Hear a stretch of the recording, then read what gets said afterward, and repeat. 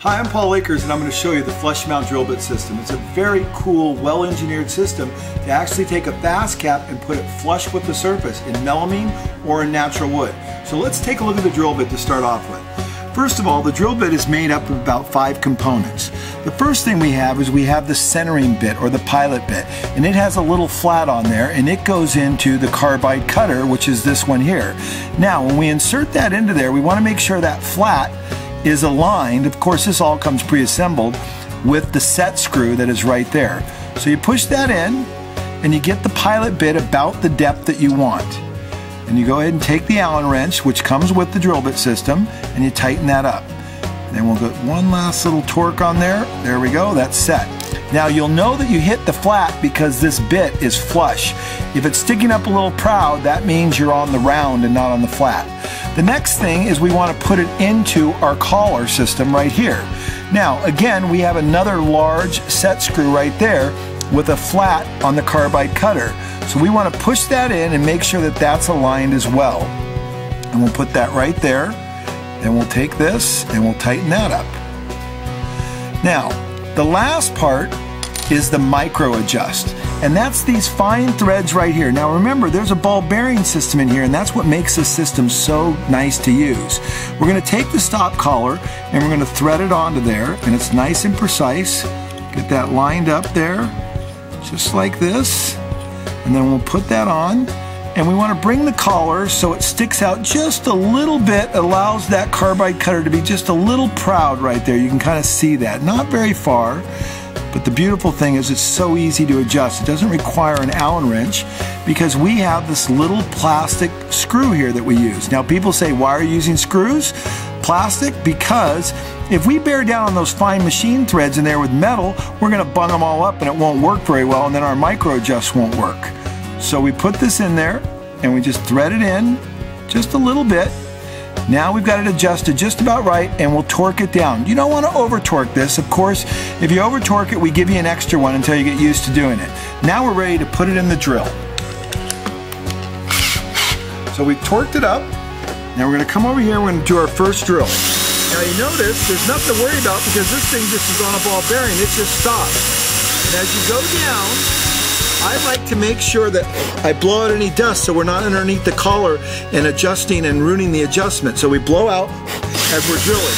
Now in the soft pine, I'm gonna actually hold on to this collar on the outside because if it spins, it can make a mark. On harder materials, it's not a problem. So there you go.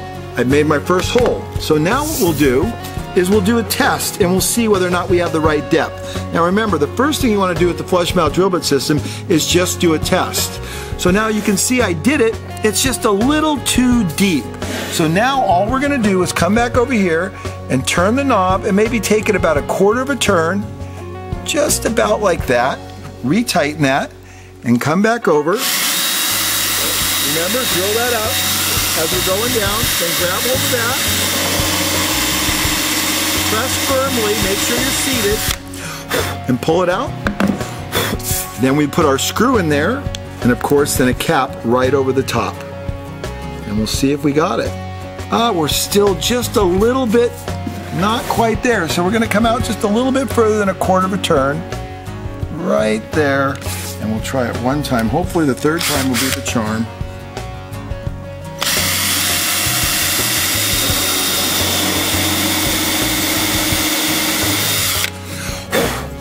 Okay.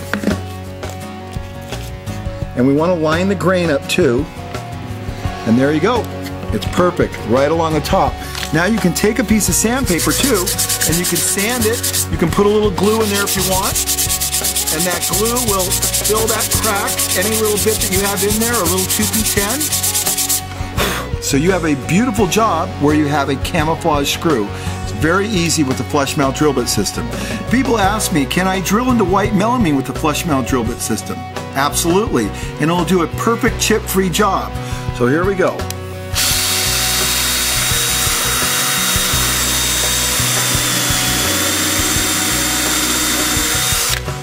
You notice I paused there because I want to make sure I've drilled it all the way through perfectly.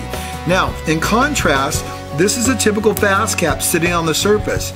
Now we're going to see what it looks like when it's flush. Remember, you'll put your screw in there and then we'll put the cap over the top. We put that in just like that. And we're just gonna tap it in just a little bit all the way around. Make sure that's seated and it looks really good. A little bit more right there. then the next trick is we take the soft wax and we take a little bit of soft wax in there and we put that in there and it just fills all those cracks perfectly. Come back over, wipe off the excess, and look at the contrast between that. You can put it in on the surface or you can put it in flush. You can do real wood, whatever you want, the flush mount drill bit system from FastCap.